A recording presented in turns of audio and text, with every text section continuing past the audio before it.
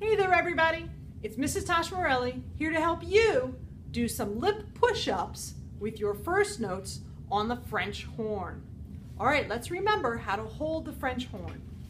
With your left hand, you're going to put your thumb in the ring or on the valve if you have a valve.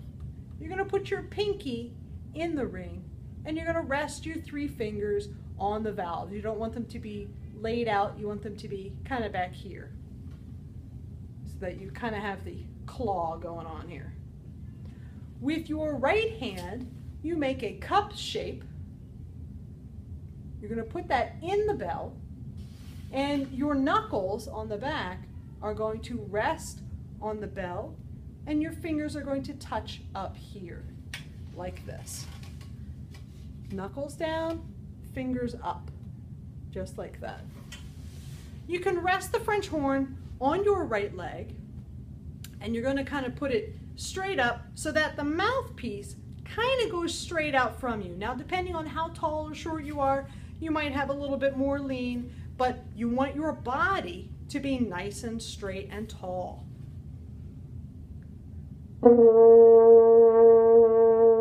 So that you can play your notes with the proper alignment. All right, so with your high note, your high note is called F, and you're gonna push your first finger down. That's your pointer finger, the one closest to your mouth.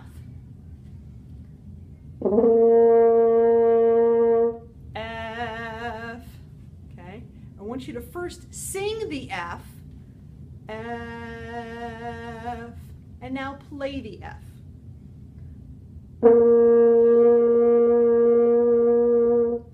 French horn, it's very, very important that you can hear the note in your head, know what it's supposed to sound like before you play it.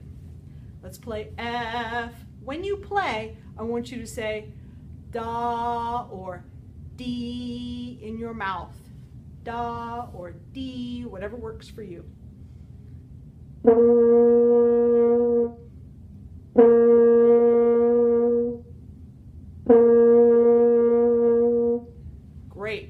Going to play the F as a long tone. We're going to last for about five to seven seconds. All right. Remember, you're going to take a fat belly breath. You're going to use your sizzle muscle. Da or D. Okay. One, two, finger down, ready, go.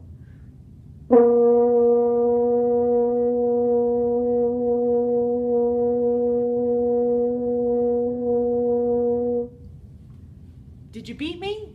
Did your note stay nice and steady? Because that is how you do a long tone on F, your high note. Now your low note is a very, very low note on the French horn, and it is called C. We're not gonna use any fingers, but you leave them right on the valves, just not pressing them down. Just leaving them right on there. The C is lower than the F, and it's about as low as you can go on the French horn with no fingers on it. Okay, when you play the low note, you're gonna say daw, like D-A-W. Daw, daw. Put your fingers on your chin and feel what your chin does when you say daw, daw. Your chin drops and that'll help you get the lower note.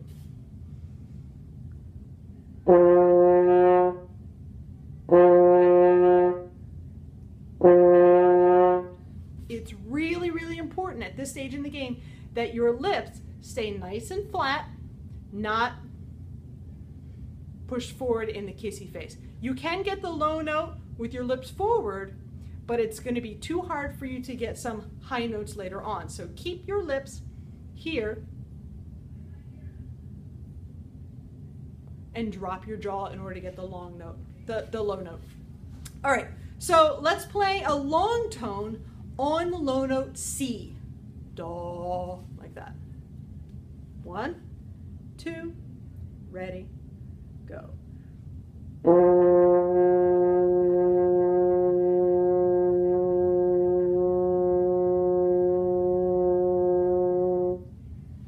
right, did you beat me that time? Did your note stay nice and steady? Were your lips in and your cheeks nice and tucked? All right, now it's time to learn about the lip push-ups.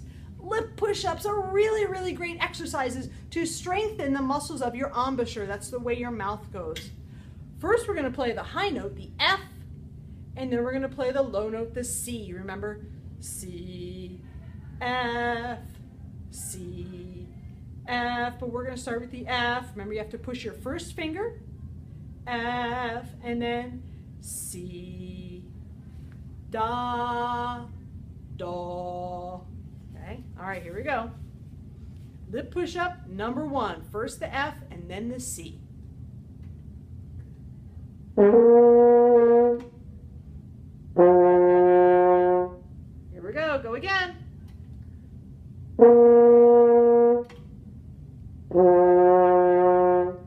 Let's do a whole bunch of lip push-ups in a row. We'll do them together. F and then C. Don't forget about your finger for the F. Here we go.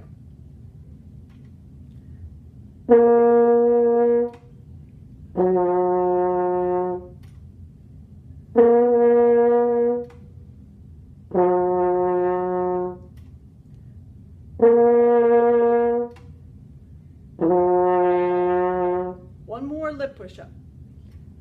And you have the French horn first notes. The more that you do long tones with good breathing and sizzle, and the more that you do your lip push-ups, your embouchure muscles will get nice and strong, your ear will learn what your notes are supposed to sound like, and you are on your way to being a great French horn player. Have a great week practicing, and I'll see you at your next lesson.